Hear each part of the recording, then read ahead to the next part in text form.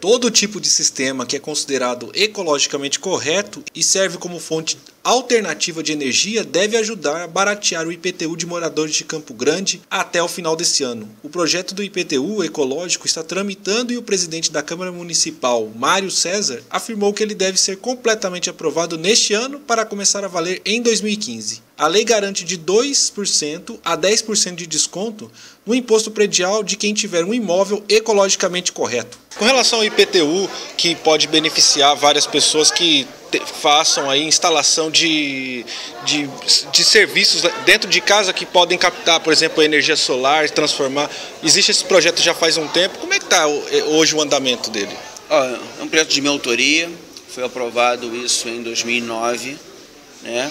Que é pensando na, na sustentabilidade, né? valorizar a reciclagem, valorizar as energias né, disponíveis, é, valorizar com relação às chuvas, da captação de água, reuso de água e o remanejamento para que a gente diminua nossas enchentes.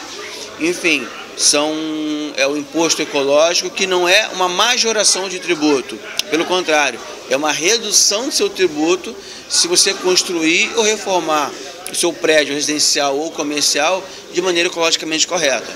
Nós temos é, brigado no bom sentido para a regulamentação dessa lei, que já havia de ser regulamentada, tinha que ser, tinham 180 dias, mas que agora a gente possa, é, de fato, de verdade, sair do papel.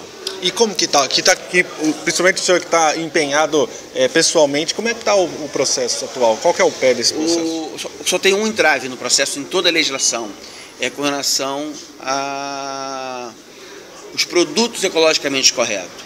Por quê? Porque existem vários estudos. Por exemplo, eu vou construir uma, uma casa com, com garrafa PET. Qual que é a durabilidade dela? Qual que é a responsabilidade técnica do engenheiro em avalizar a autorização um habite, a autorização de uma construção. Então, nós estamos precisando de uns estudos técnicos com relação às universidades federais do Mato Grosso do Sul, inclusive, para nos balizarmos quais são os produtos hoje ecologicamente para a gente poder formatar, porque a ideia de, é, de energia sustentável, recuperação de água, tudo isso já está feito. O que falta é agregar o valor com relação ao produto sustentável. E o senhor acha que em quanto tempo isso deve, é, de repente, se concretizar? Eu acho que se nós tivermos dificuldade em definir esses produtos, a gente bota isso para um outro momento e, e mantenhamos a lei com aquilo que já está de, é, liquidamente é, concretizado. Será que pode se esperar que o ano que vem isso pode já estar é, em, em, funcionamento? Eu acredito que esse ano regulamenta para que ela possa estar em, em, em aplicabilidade para o ano que vem.